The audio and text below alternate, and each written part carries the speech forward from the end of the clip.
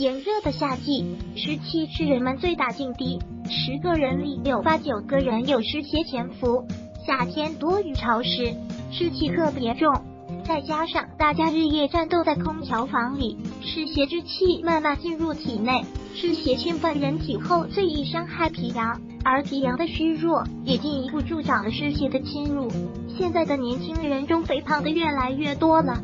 其实，多数肥胖并不是真的吃的多长的胖，而是体内湿气太多了导致的肥胖。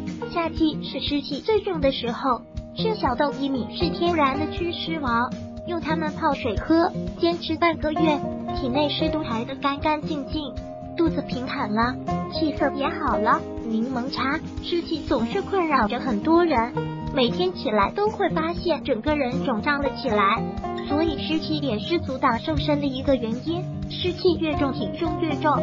每天早上冲泡上一杯，可以让你无湿一身轻。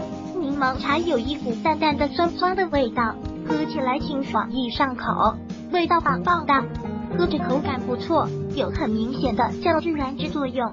轻松瘦掉大肚腩，红豆可以补血，同样也可以除湿。用红豆煮水喝，或者加上黑豆和绿豆一起煮水，可以很好的排出体内的湿气。红豆还可以做成其他的食物，但是要小心，不要买到赤豆，那种豆子属于药类，吃多会中毒的。一般很容易和红豆混淆。生姜在中医里，生姜发散、止呕、止咳等作用。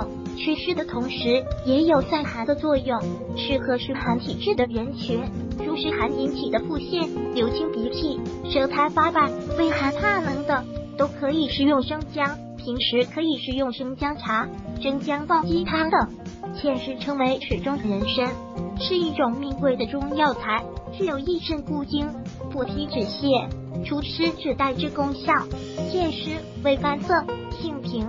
中医养生学认为，芡实抗衰延年，补中益气，健脾止泻，固肾益精，除湿气。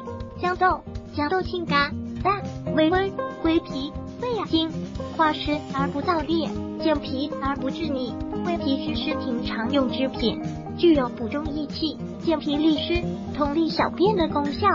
滇南本草中，激素其质低土虚弱，开胃健脾，尤其适宜于糖尿病。肾虚、尿频、遗精及一些妇科功能性疾病患者多时。如果喜欢本视频，请分享并订阅本频道。